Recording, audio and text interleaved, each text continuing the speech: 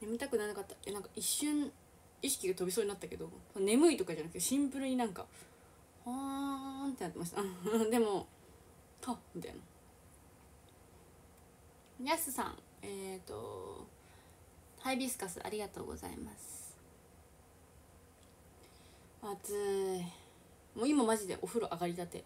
お風呂上がってあのスキンケアしてコンタクトも取っててって感じ。ちょっとご飯食べてないから、ま、歯磨きできなかったんだけど。髪も描いてないしね。たもちゃんハイビスカスありがとうございます。東京くんくまありがとうございます。えいかさん、えー、トロピカルジュースありがとうございます。ごめんだからちょっと今日ご飯作ってないからチャット送れなかった。別にご飯のチャットご飯用じゃないんですけど。茹でたて。そうね茹でたてだね。プロフィール画像変わりました。変わった。おお通知切ってなかった。髪乾かすの時間かかるからもう一旦自然乾燥ちょっと。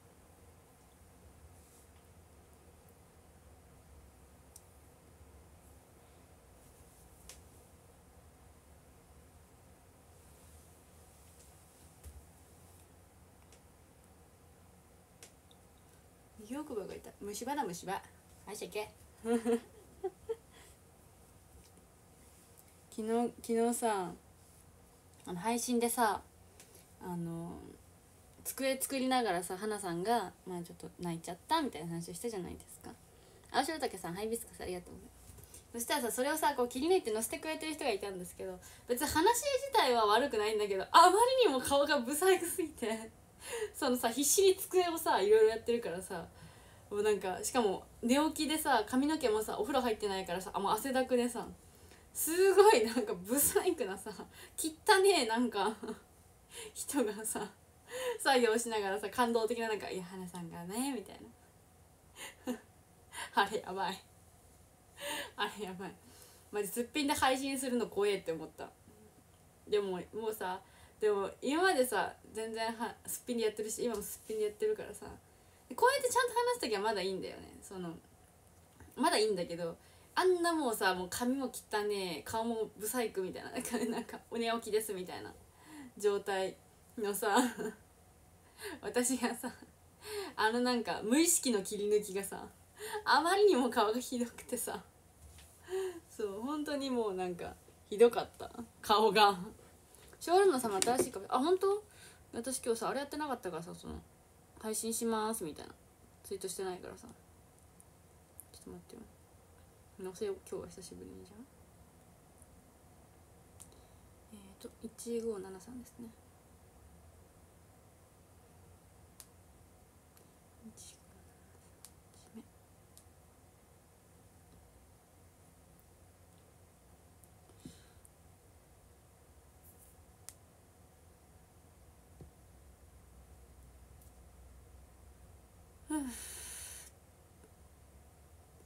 もうほんとねリハきついとかきついっていうかあ本当だ変わってる。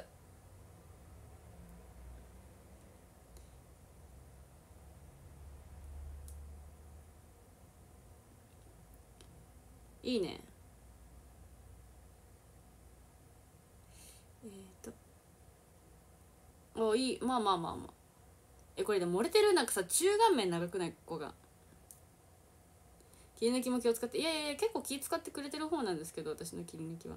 ただシンプルにあの別に話が問題あったとかじゃなくて顔。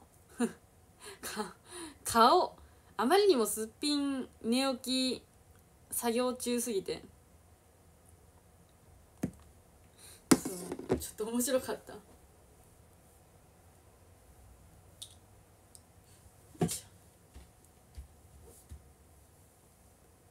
ラグ買わな決まった。もう注文しちゃった。ラグ。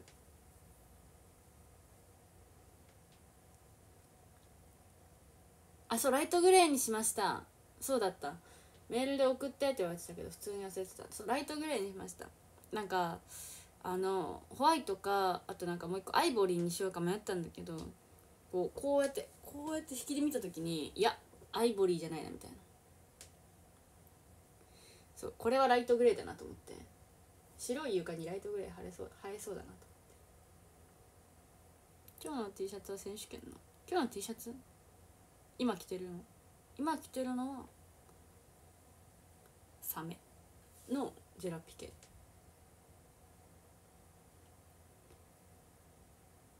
昨日のは昨日のはピクミンだったかな。今日はえっ、ー、と前々から持ってたミルクフェードですね。でも今のとこあの選手権 T シャツ優勝はあのピクミンになりそうです。あれマネージャーさんも欲しがったらしいよ本当は。しかもな公式サイト売り切れらしいな。任天堂のやつでしょあれ。そう。来てたらなんかマネージャーさんからチームメイツのマネージャーさんから「そう。え？みたいな「ピクミンだ。ピクミンのやつじゃん」って言われて「あそうなんです」みたいな。ファンの方に頂いたんですよねみたいな。マジそれ売り切れだよ」みたいな「俺も買おうと思ったんだよね」危うくマネージャーさんとお揃いになるとこでした。危ない危ない。しかも女性マネージャーじゃなくて男性マネージャーとピクミンお揃いって嫌だなと思って。なんかなんかまだこうなんかさかっこいい感じなんだけどピクミンお揃いなんか おもろくない？そう。だからちょっと危なかったですね。マネージャーさんとピクミンお揃いになるとこでした。やばい足めっちゃ豆できてる。リハ頑張った証拠だ。山口は観光できてないです。もう終わってすぐ帰りました。次の日の仕事仕事？あそうあったから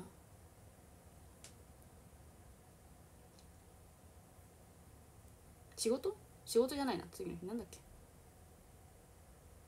何があったんだっけ？何してたっけ私？次の日。その日仕事じゃねえな。ブルーのアディダスはあれでも割と34位ぐらい。女性マネージャーとお揃いない。あ次の日あれだから私がカラオケ配信した日か。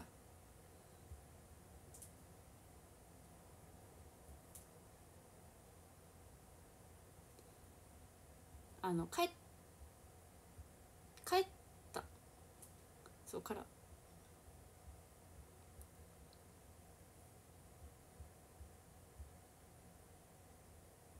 面白 T シャツ面白 T シャツは選手権してないです。おしゃれ T シャツを選手権してま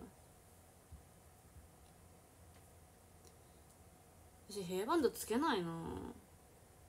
そもそも私前髪上げることないもんメイク中ですら。メイク私前あのおでこ塗らないしファンデーション。塗っても粉ぐらい。見えないから。あのデコ出しする時ぐらいしか塗ってないファンであくしゃみでそう だからいいんじゃない？つけるつける子にあげた方がいいよ。えなんかもらって可愛いからちょっとつけてみるとかはあるけどでも日常的に毎回使いますか？みたいなのは超あんまないかもな。カチューシャもつけんね。ディズニーのカチューシャぐらいねつけても。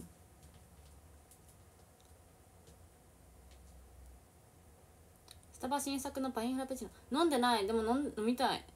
なんかゼリーがちょっとどうなのかなって感じなんだけど。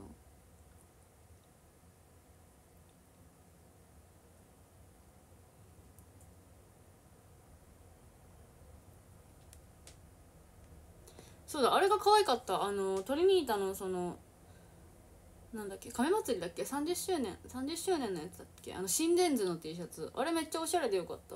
あれ欲しいな。あれあれ優勝でしょ？シンプルイズベスト。あれめっちゃおしゃれだった。だからパインのフラペチーノってめっちゃフラペチ めっちゃ久しぶりじゃないとさめっちゃフラペチーノじゃないって言うの危ないでも私フラペチーノ飲むと書かれるから贅沢しちゃダメだよって。あんま贅沢できないでフラペチーノ私あんま飲めないです。もうめっちゃ嫌味感のようにメールにいっぱい送ってるから。今日もフラペチーノ飲みました。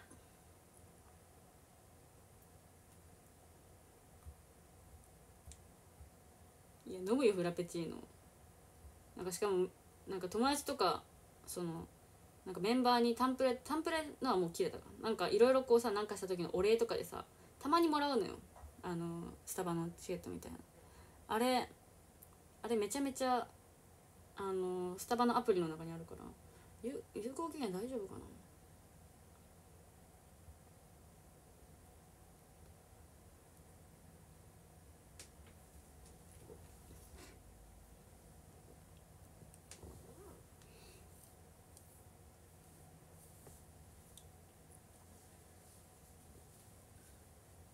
いしょ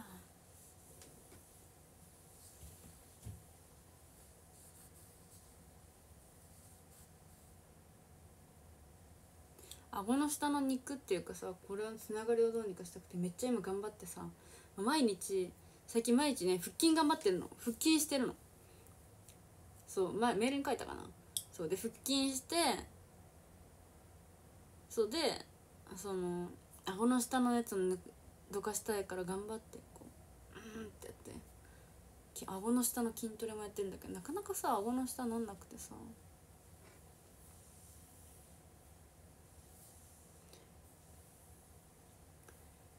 何回してる筋トレ。え30回。30回。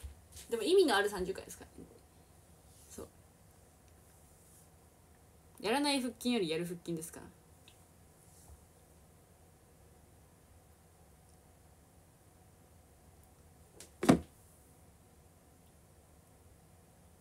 スタバのカードは姉のだ姉の旦那さんにタンプレで送った。スタバのカードってマジ一番あれじゃない？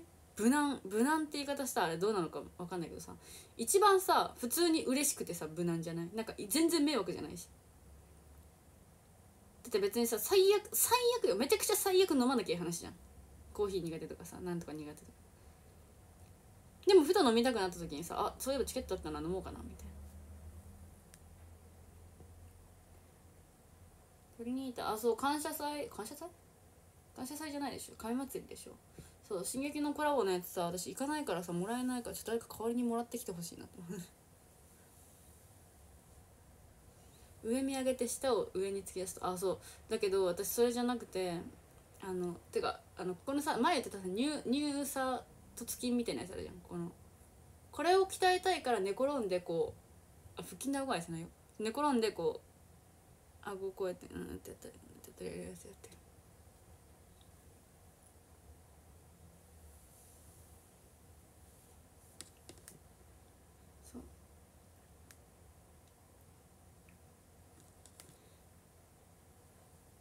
筋はうんノーマル腹筋っていうのが何なの？そんななんか変な腹筋はやってない。割と多分普通のやつ。やってるよ毎日、ね、寝不足なのに腹筋やってるっていう。寝ろよって話なんですけど。それなの。でも腹筋の方やっちゃうんだよね。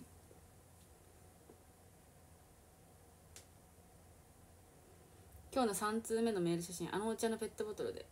えその時のお茶なん何？えでもあれ多分トリニータの人衣装着てるから多分帰り道だと思う。だかあれじゃない？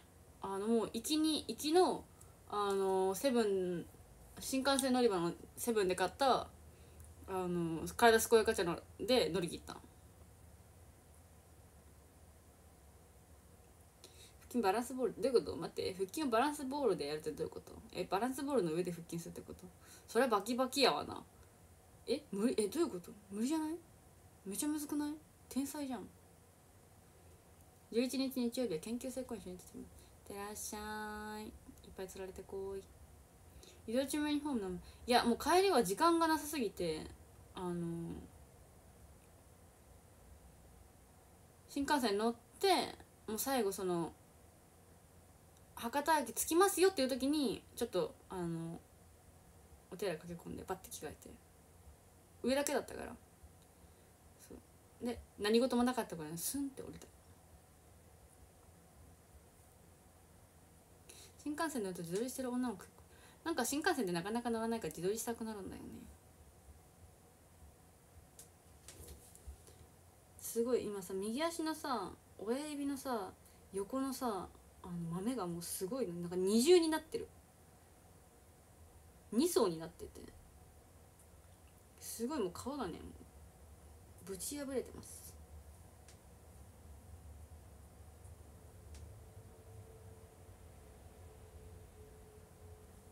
大変新幹線 TikTok 撮ってる女の子いた。まあでも別に音も出してなくて迷惑じゃなかったらね。上の目じゃないです。目ないんで。硬くなってないよ。もうどっちも普通に。ただあのほんと豆が破れましたみたいな感じ。硬めの。バランスボールで反対側に体を反る。あ寝転んでってこと？ストレッチだから伸縮幅がすごないそれ。靴合わないの？え全然？合わなくない。来月 iPhone16 シリーズが発売予定なので Apple ギフトカード対応し知らん。私私はあげないぞ。ハントニーの雷ぶせあまだそっちあれだったの？なんかこの前も言ってなかった？昨日だっけ？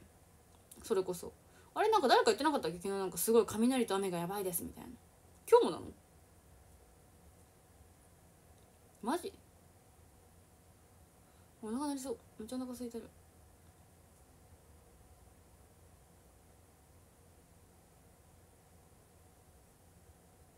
今日もなんだ。なんかあれだね。天気があんまよろしくないわね。飛行機止まってた。あまあそのレベルなんだ。ごめんな本当にリハとかの期間は特に何も外部の情報入ってこないからもうそればっかりに集中して。すまんねちょっと何も情報知らなすぎたけど。この夏が終わるのでこんな状態。えマジで？雷雨がひどすぎて久々に再開した J リーグだったのに中止になった。あえー、そんなの？そのレベルなんだ。やばいな。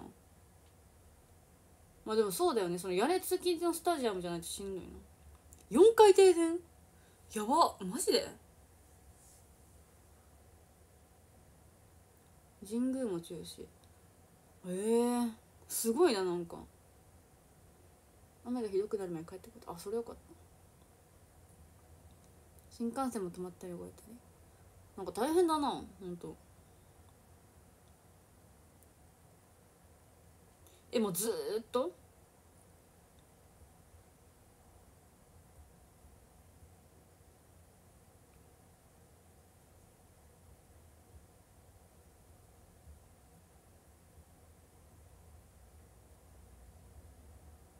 うん。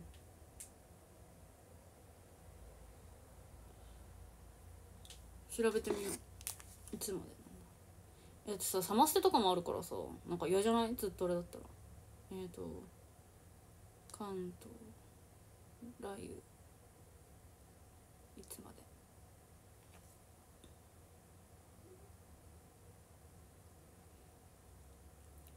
で？えねえね。サマステとかどうなんだろう？サマステ雨だったらやばいよな結構。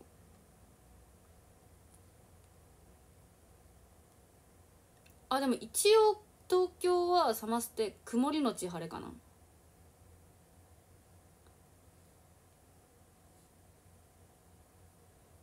パッて見た感じね。うん。ただ40%あるね。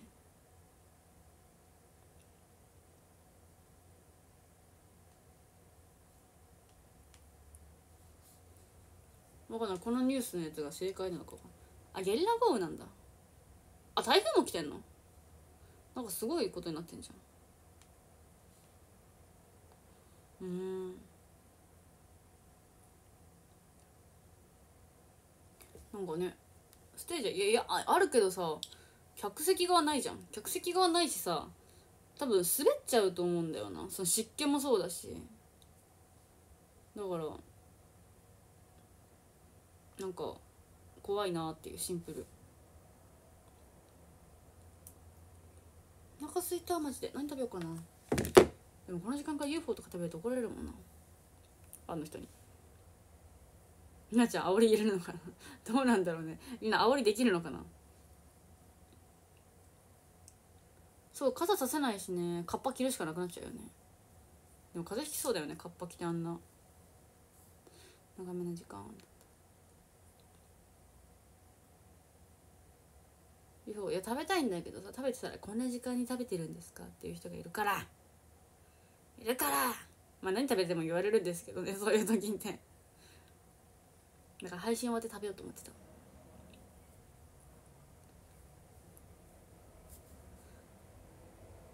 そういやそばのなんかね腸活そばみたいなのあるんですよ。なんか納豆とキムチとか入れる腸活そばとかあるんですけど。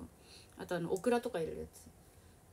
あれにしようかなと思ったんだけどなんか腸活腸活系ってさなんかお昼に食べた方がいいって私見た気がして。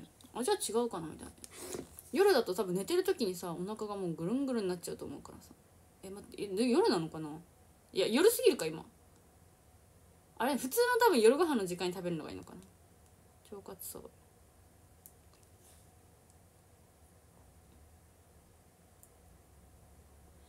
食事制限まではいかないんだけど。この時間に食べてるの？って言われるとさあのー、なんていうの？罪悪感なくてもちょっと罪悪感が芽生えるからさ。えっ、ー、といつ食べればいいんだ？これは。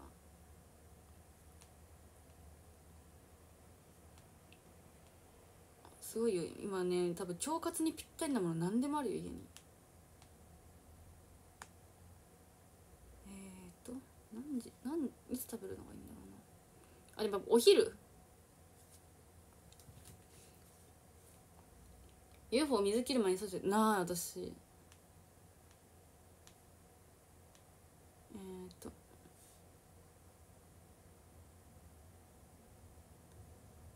なんかすごい。腸を汚すそばの食べ方とかあるらしいよ。何それ。本当かそれ。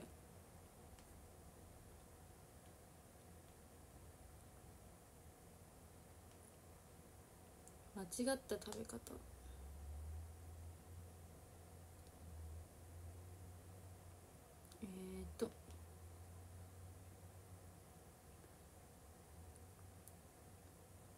スローの食品でそばを食べる時はこうしたファストの食材との組み合わせを避ける。難しいななんだそれ。うんと。カレー南蛮はランチの定番の一つです実はこれは NG 唐辛子とそば粉が一緒になると腸を詰まらせる原因になるらしい。あでも鴨南蛮とか鶏南蛮はいけるんだかまあカレーそばはダメっぽいね。えでも薬味あ薬味のでも一味と七味もあんまよくないらしいよ。あでもわさびとか生姜はいけるんだって。へえ。ー、あ柚子はダメなんだって。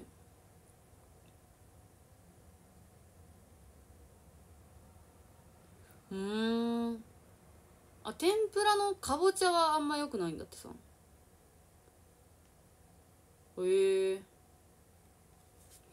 なんか難しそうだな。食べ合わせが悪いっていうか多分そのく合うんだけどその消化管を通過するのに時間かかるものをがえっとそばなのかな。だからそのさっさとスンって通ってっちゃうそのファストな食品はダメなんだって難しい。何これ？何これ？難しいな。え分かんなくない？NPO 法人なんだこれ？越前そば連合。なんで初めて聞いたな。すごいな。そんなそば連合えそういうことだよね。多分。えーと合ってるよね。うん。あ難しいね。どっちもだからスロースローの組み合わせ食べなきゃいけないってことか。あだから野菜野菜っていうかなんていうの？刃物は結構刃物？なんかそういう系は結構ゆっくり消化管使うからだからあれはいいのかな。七草じゃないけどなんていうの？そういうなんか草いっぱい使ったそばというかはいいのかな？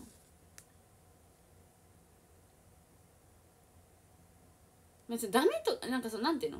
多分ダイエットとかには向かないよってだけだと思う。別に食べちゃダメとかじゃなくてシンプルダイエットとしてそのそば腸活そばを食べるのであれば多分その組み合わせが向いてないよっていうだけだと思う。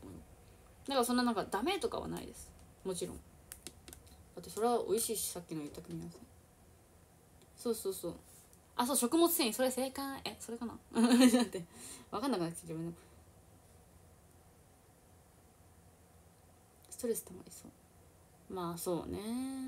まあでもまあいいんじゃない？だからもうほんと腸活したいです。みたいな人だけ頑張るっていうやつ。ライブ前とかいろいろ制限。まあするね、まあ、グラビアとかやってた時はもちろんそれは気にしてました。うん。でも別に普通になんかちょっと最近食べ過ぎだな太りすぎだなって思った時は別に何にもなくてもすることもあるしそう。私なんか例えばこれちょっとこのイベント結構私の中で大事だからちょっとこれこのためにちょっと塩分抜くかとかもやったりはしてる。でも基本はやんないですあんまり。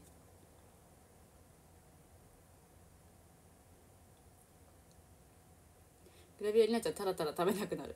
えでもなんかね前石尾さんに聞いたのはやっぱ食べた方がいいんだって。なんかもうなんなんよ大きくするために。いやいやまあ食べた時で大きくなるか分かんないですけど。そう。でもやっぱ大体男性ってそのまあでも人によるとは思うんだけど例えばなんかそのさなんかこうなんていうの？ちょっとあのムチっとまではいかないけどそういう体験の人が好きな人もいるし多分細い人が好きっていう人もいると思うけど。そう。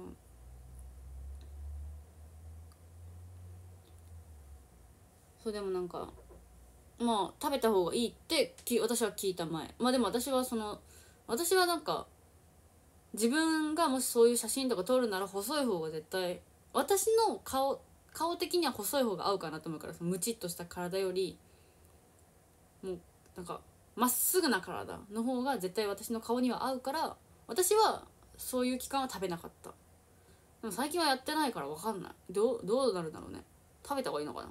自分がさそのムチってなんかあ最近太ってなぐらいあるけどムチってしてる自分ってそこまで過去になかったからなんか嫌味とかじゃなくね普通になんかこうマシュマロボディになった自分を見たことがないから食べて成功それがなんかいい感じになるのかなんていうのただなんかうわ太ったってなるのかそそれが怖いなって思う。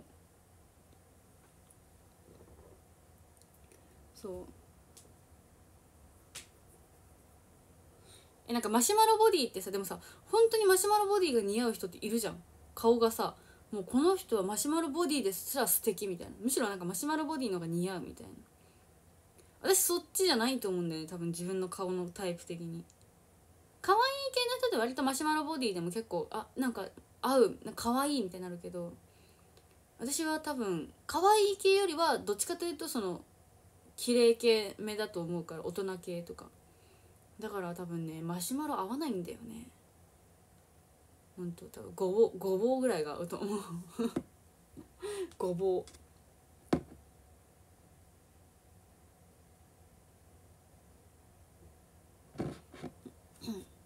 かな。最近さブロッコリーをさえなブロッコリーをさ私さ調理したいの。てかブロッコリー食べたいの。なんだけどその冷凍ブロッコリーは多分あんまりさ生より栄養がないじゃん。でもさその普通のさ生で売ってる野菜のとこに売ってるさブロッコリーってさなんか虫出てきそうで本当に怖くて結構そういうの見たことあるからそれが怖くて買えないんだよね。あ洗えばいいって言うけどさ洗っても出てこない可能性もあるじゃないですか。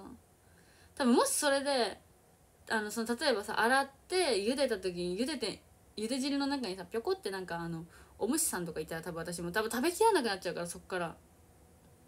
えそう虫結構入ってるって言うじゃん。えー、丸かじしようと思ってないけどさ。でもなんかこうあのさワシャワシャの中にさこうなんか「ヤッホー」みたいななんかさ。なんかもしそれがさなんかあの別にさちっちゃい飛ぶ系の虫とかだとまだいいんだけどあのあ私の本当に無理ない幼虫系とかだと本当に多分トラウマになって一生ブロッコリー食べられなくなると思うんだよね。そうなるぐらいなら冷凍で我慢するかみたいな。そうだから本当はさその私だってさアヒージョ作る時にさあのね冷凍じゃないブロッコリー使いたいけどさそうでももしもしもいたらさ怖いなと思って。いやいやだからその農薬使ってる使ってないとかいいのよ。どうもうそこは別にどうでもいいんだけど私食べれればいいけどただもういやもうこ虫が嫌なのよ。そうそれが嫌なの。本当にどうしても。それだけ別に農薬使ってる使ってないも全く気にしないしそうそこに全く何もないんだけどただただ本当にもう虫虫がいたらトラウマになっちゃうから。そうだからだからそれだけが嫌なんだよね。えそう逆にそうなんか入ってるなんか虫入ってる方がさそのなんかいいみたいに言う人もいるんだけどまた虫がダメなの。幼虫がダメなの。無視できない虫。カーン。おかえりください。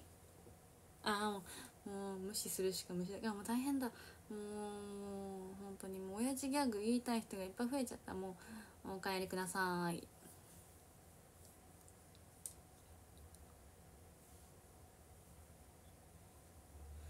そうでもさブロッコリーをさあニンニクとオリーブオイルで炒めてあの高菜とでも一緒にちょっと炒めたやつ風味つけたやつとかがめっちゃ美味しそうで。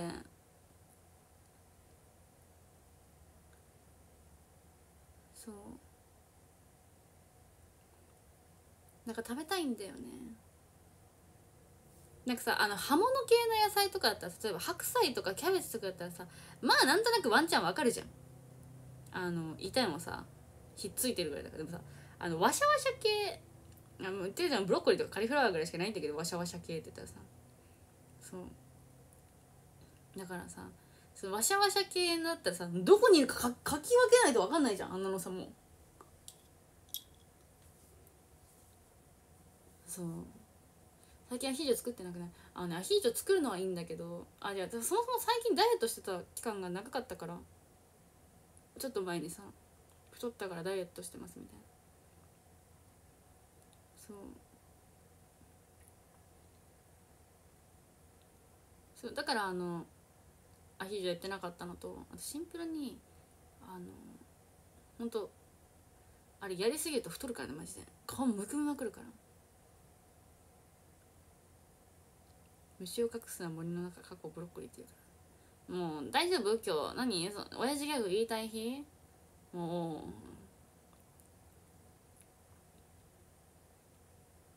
次次言ったのが思んなかったら罰罰ね。罰として。束投げするからね。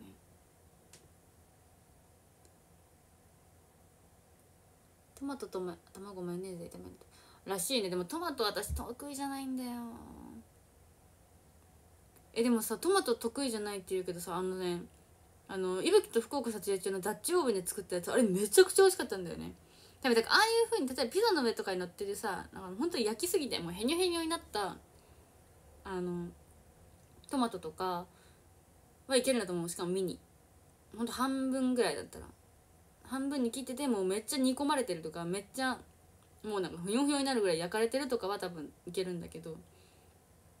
多少焼いたぐらいじゃダメなんだよな。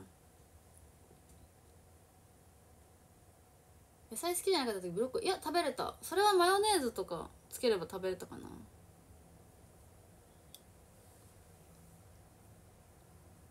冷蔵庫の桃食べ いいな桃食べたい。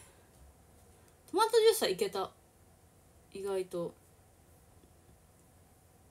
あでもそれがあのそれはでも言ってあれなんだよな。あの「いいねちょうだい」の時にあの坂田さんから頂いたトマトジュースは美味しかったから飲めたけど。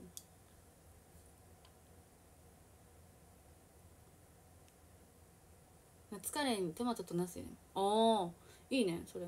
トマト缶ならいけるんだよね。しかもトマト缶のそのなんかドロドロのやつじゃなくてちょっと形残ったやつあるじゃん。あれならまだいけるんだよね。そうプチトマトもちょっと苦手だね。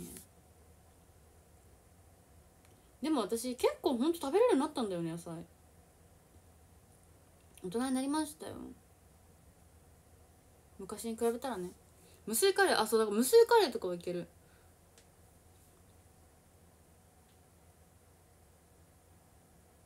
トマトジュースに黒胡椒入れたら美味しいって。ええ。ガハンガハンってならないかな。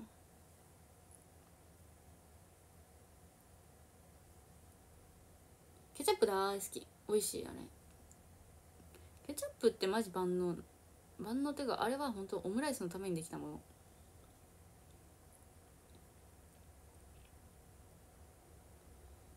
全く食べれなかった昔野菜。全くっていうか食べたくなかった。できるだけ食べないようにみたいな。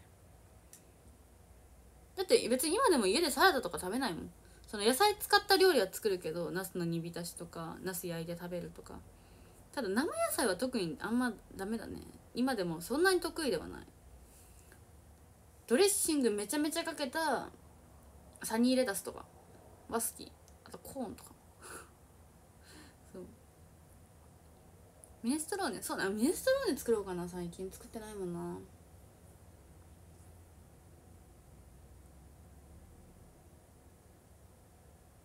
夏カレーにピーマンも夏カレーね。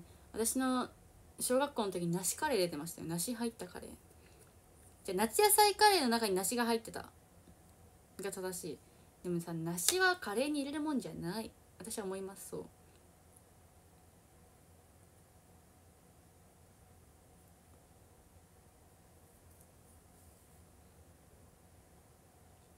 なんでなんでカレーに梨を入れてみたんだろう。梨は多分食べるのが一番そのまま食べるのが一番いいと思うけど。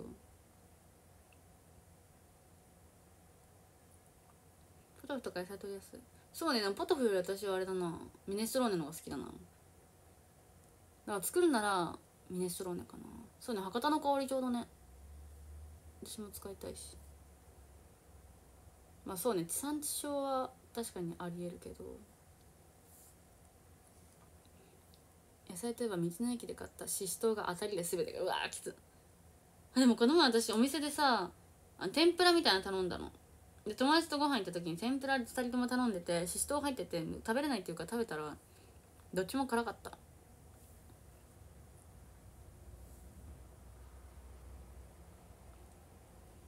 酢豚のパイナップル無理だな。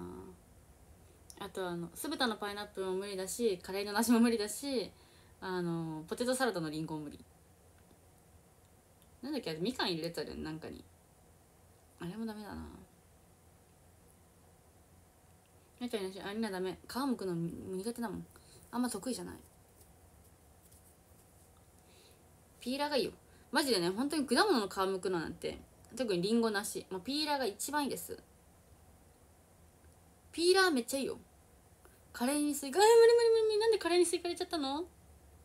ハンバーグのパイナップルって何？ああ乗ってるやつに。あ無理無理無理無理。あの果物は基本冷たい状態で食べたいから。サラダにみかんだ。それ無理無理無理。そうめんに缶詰あなんかそれ昔うちもやってたかも。流しそうめんの機械があってそれのなんか真ん中になんかひあのペンギンの絵が載ってたんだけどそのペンギンの絵が載って真ん中のとこになんかフルーツ置くとこがあって一緒に食べてたけど。でもあの缶詰のみかんをめんつゆにつけることはなかったです。さすがに。ホットアップルパイ。ホットアップルパイって何？まあまあなんていうのそのなんて言うんだろうね。アップルパイはまあ別好きだけどちょっとそれは違くない？またなんか。冷麺？冷麺にスイカ見たことないわ。あヨーグルトにフルーツはめちゃめちゃあり。大好き。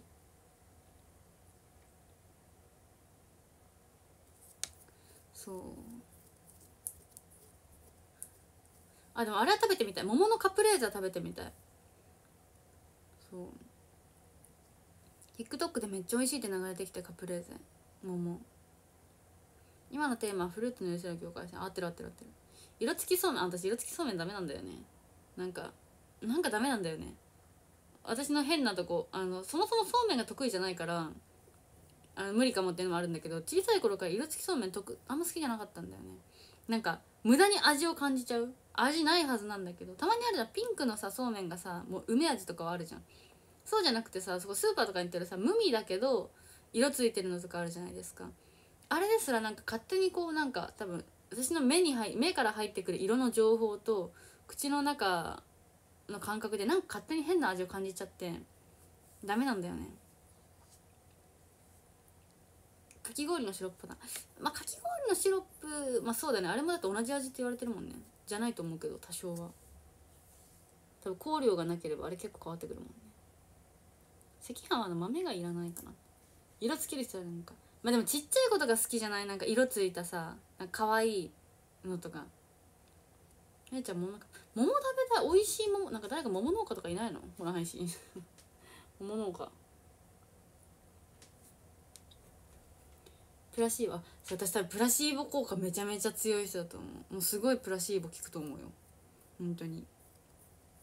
すぐなんでも影響されちゃうから。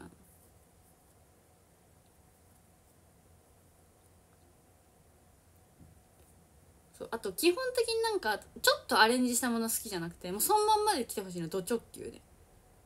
だから例えばそうめんとかもこの梅味のそうめんとか嫌なの。普通のそうめんがいいの食べるなら。そうあんまりこうなんか例えばだけどこうあのペペロンチーノのニンニク味をちょっと強くしましたとか辛みをちょっと強くしてみましたとかはいいんだけどあのそうじゃなくてなんかさほんさっき言ったみたいにさなんか色つけてみましたとかさ謎のアレンジとかあるじゃん。あれ嫌でもうほんとシンプルに食べたいの。なんかその謎のアレンジ嫌だ。それなら別のとこで自分でアレンジしますって感じ。梅味のそうめん食べたかったらなんか梅系のなんか上にかけるやつ作りますみたいな。プラシーボ効きやすい人はお薬もよく効くからいやそうなんだよね。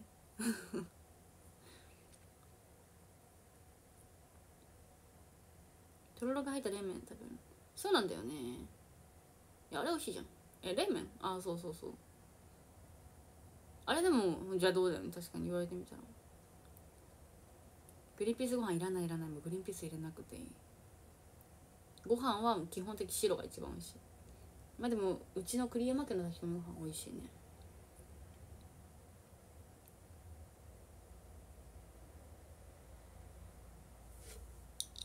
もう一回。最近さフェイス ID とかさ携帯のあるじゃないですか。 QUICPay とかさ使う時さメガネだと反応しない時あるそしたらさここら辺まで上げると反応するんだよね。下から見てこうやって。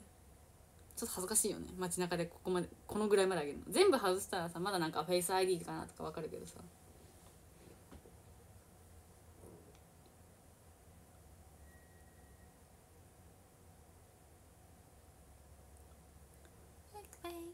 そうめん出る時梅干し入れると麺が。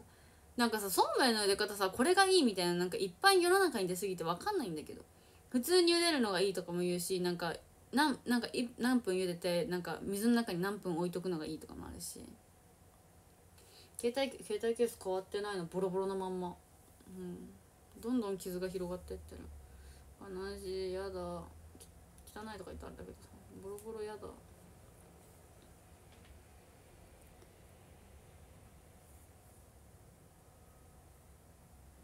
いやなんかねあのね結構ねなんか曖昧なもの多いんだよね携帯のそのフェイス ID 系。メガネでもいけるものはあるのはあるんだよ。ただメガネでいけないものもあるのよ。auPay とか無理だった気がするな。auPay アプリ開くと確か無理だった気がするな。あとなんか銀行アプリ系も確かメガネ無理だよ。いやセキュリティ強めのやつは無理かもね。支払い系とか。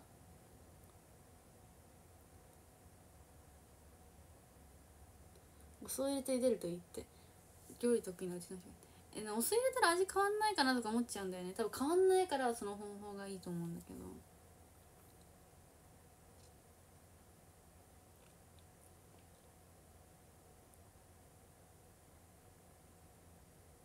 全然いけてる。本当？じゃメガネアリーに登録なってるのかな？私全然ダメなんだよね。iPhone 開ける時普通の顔なのに。ひらがなく なんで変顔で登録したの？頭が薄くてひげが濃いとエラー出がち。逆向きだと思う。ちょっと今度それさ裏向け反対向けてみてよ。上下逆にこうくるって。あなんかさ最近さマイナンバーのさマイナ保険証ってあるじゃないですか。あれを使ってみたんですよ。そうそしたらさあれさ愛情番号変わるじゃないですか。愛情番号さもうなんかクレカとかもあるしさ。口座もあるしさ。で口座も私さあのゆうちょとかさあの普通の大分銀行とかなんかいろいろ何個かあるしさ。こうなんかいろんなさパスワードとかが頭の中に入りすぎてさもうどれなんか多分これなんだよなみたいなけどさ間違えたら嫌じゃん。なんか。だからさ顔でさやったんだけどさ顔認証で。すっぴんでさそう眼鏡外すさこうやって。顔認証やってさ恥ずかしかったなんか。すごいピピーとかなんなかったけどさ全部バラバラなの。え割とバラバラにしてる。かぶってるのが2個とかあったりすると思うけどでもそんな基本全部一緒とかない。さすがにね。だから顔でやってる。えそうそう。なんかロックかかったら嫌じゃん。これかなみたいなんだけど。誕生日にするわけないじゃん。誕生日にしたらなんか大体ああいうのってエラー出るってよくない？そうだから基本的にそういうなんか大事なカードとかの相性番号はその誕生日とかにしてないし私基本はなるべくバラバラにしてる。えそうそうほぼ一緒にしてたらさやばいじゃん。ただなんか携帯の中のアプリ系あるじゃん。ああいうのは割と一緒にしちゃってるから多分危ない。一回寝られたらおしまいです。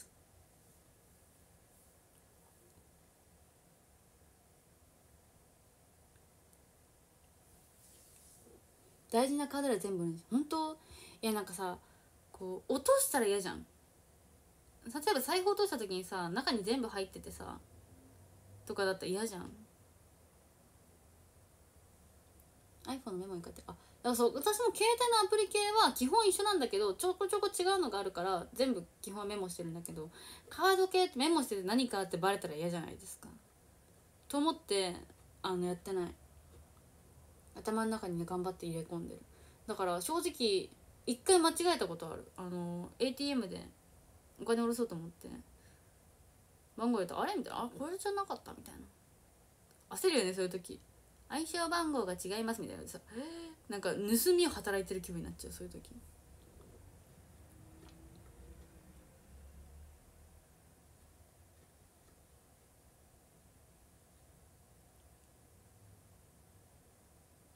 そのメモなくしただからメモは携帯の中に入ってるメモだから。まあでもだから大体基本携帯の中のはよっぽど大事なの以外は一緒だから。なんか例えばショッピングのさショッピングっていうかなんかそのお洋服買うサイトとかのはさ別にさこうクレカとか登録しなかったらさまあ別にいいじゃん。同じでもさ最悪。そういうのは一緒にしてるけど分かりやすいように。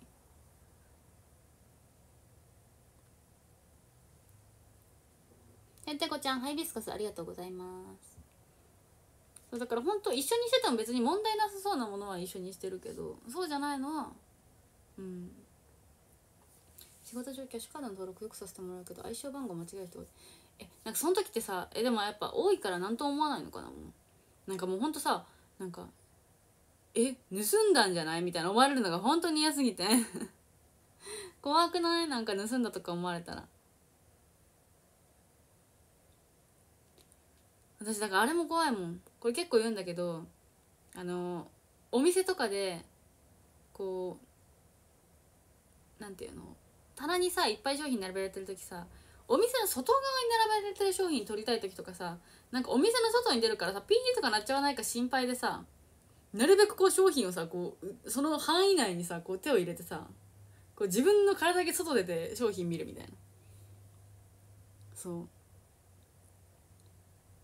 明らかに名前と性別が一致しなかったなんて。ないまあそりゃそうか。向こうはめっちゃ恥ずかしそう。いやだからさ恥ずかしいしさなんかそれでさもしさもう一個これかなって思ったやつを間違えた時どうしようみたいな思っちゃって。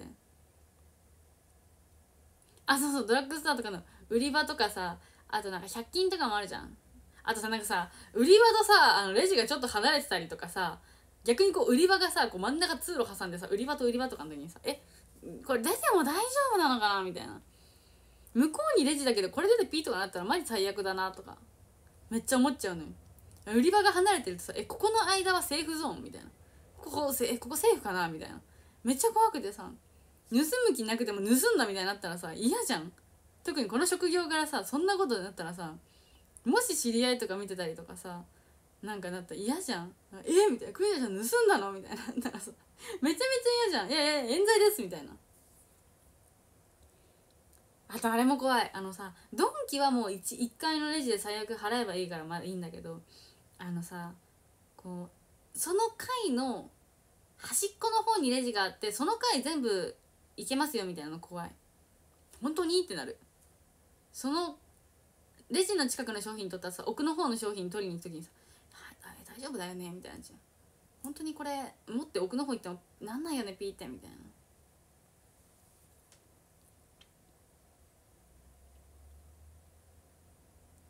こっちはめっちゃ明るくパスワード忘れちゃいますよね。3回もチャレンジしましょう。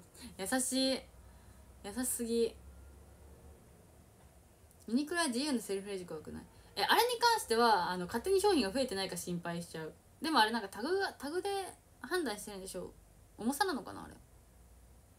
どっちなんだろう？私タグだと思ってたんだけど。なんかのタグ。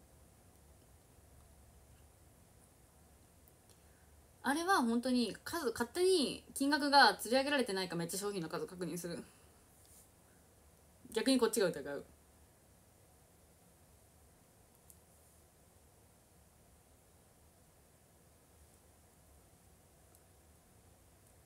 タグだよね。やっぱそうだよね。なんか前テレビで見た気がするんだよ。ただ私の情報って結構勝手に頭の中で改ざんされること多いから心配。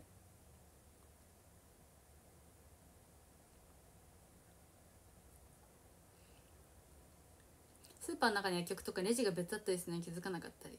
なんか罠だよね半分。もう怖いよね。いやそこはそこで薬剤師さんとか多分いるからあれなんだろうけどさ。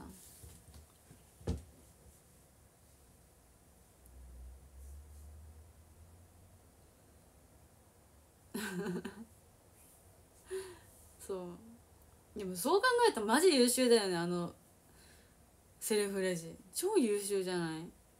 だってしかも現金も普通にいけるわけじゃん。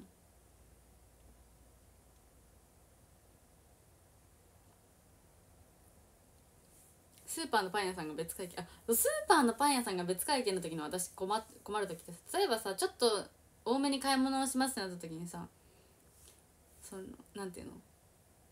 もういっぱい商品入れちゃってる状態でさこうカート押しながらさ歩くとするじゃん。これ、ま、昔よくあるあるだった。最近はパン屋さんパン屋さんに行くからあれないんだけどさ。そういう時にさ「わパン屋さん美味しそう」って思ってさ「わパンちょっと見たいな」いやでもこれ置いたら中身盗まれないかなみたいな、うん、買ってないから盗まれてもいいんだけど。でもなんかさそのパン屋さんの時にさそのカートどこに置こうみたいな。カートを中まで持ってったら邪魔だからさ持っていけないじゃないですか。そういう時ってマジどうしたらいいんだろうね。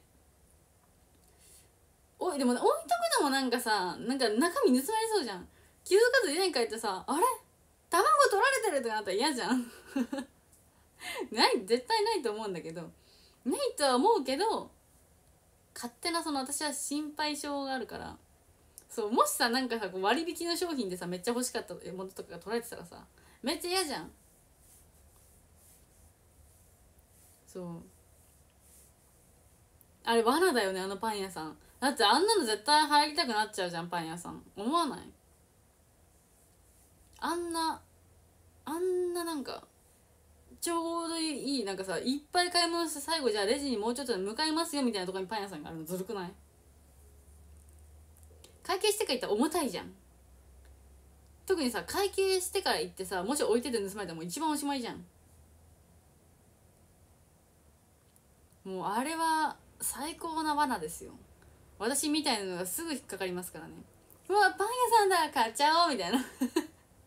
パンえー、美味しそうとか言って。すぐすぐ行っちゃいますからパン買いに。ほんとよくないよ。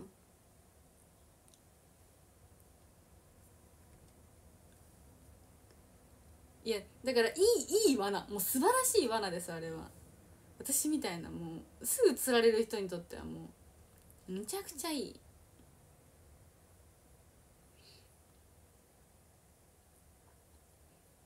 最高じゃないだってあんなの。一番いいとこにあるんだもん。うんパン屋さんすぐ引っかかりますから私は。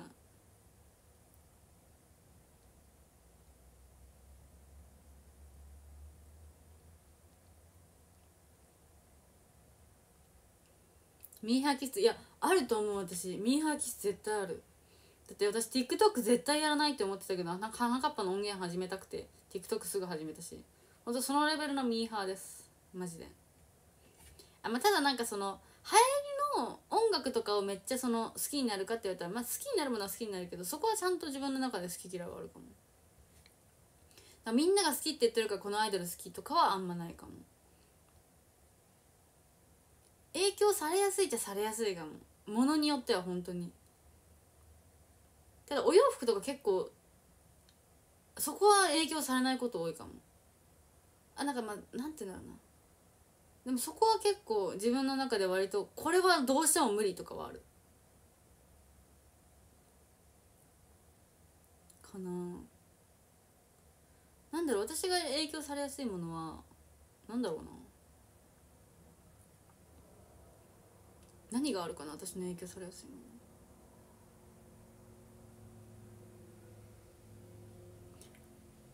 もの。ああえー、なんだろう。あでもそう考えるとそこまでないのかも。ちゃんと。並んでるお店気になる。気になる。気になる。けど並びたいとは思わない。あの少なくなったぐらいに行こうかなみたいな。みんな好み分かる分かりやすいよね本当。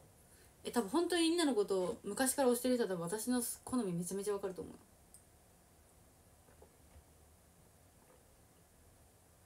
みなちゃんの洋服とか持ってるものに影響されてるメンバーいないの？えどうなの？あんまいなそう。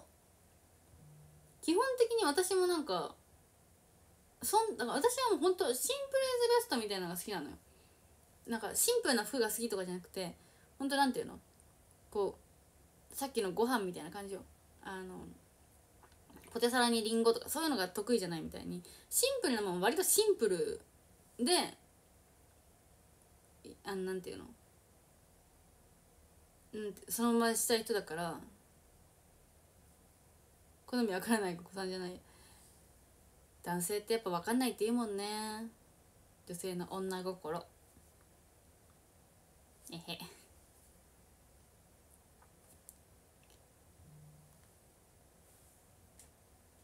まあでも結局あれだよね。好みが一緒かどうかだよね。分かるか分かんないかなんて。だって私のファンの人の中でも多分私の私と多分完全に好みが一緒の人ももちろんいるし。だかその人が送ってくるお洋服って基本的になんかああ私もこれ欲しいと思ってたんだよねみたいなのも結構あるし逆にでもだからこそ着たことない服とかもらって着ることもあるから。なちゃんにはまるバラのツボが一緒かります。みんなほんと小学生みたいなのが好きだよ。アホかみたいなの好きだよ。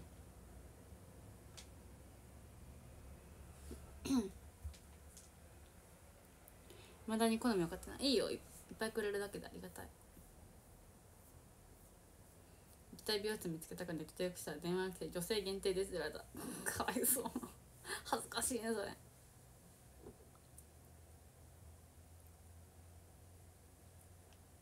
洋服ブレンドあるね。でもただ今いいね欄が見れなくなったからファンの人が何送ったらいいか分かんないみたいな状態になってる人多い。でもリファの折りたたみコームは可愛いなと思いました。台本ケースがボロボロなのが嫌です。女心がよく分かりませんがどうしましょう。どうしたいんですかね。もう MBTI 聞くしかないんじゃない？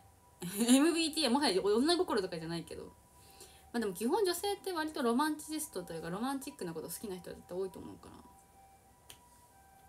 ら。あともう TikTok とか YouTube いっぱい見るしかないっす。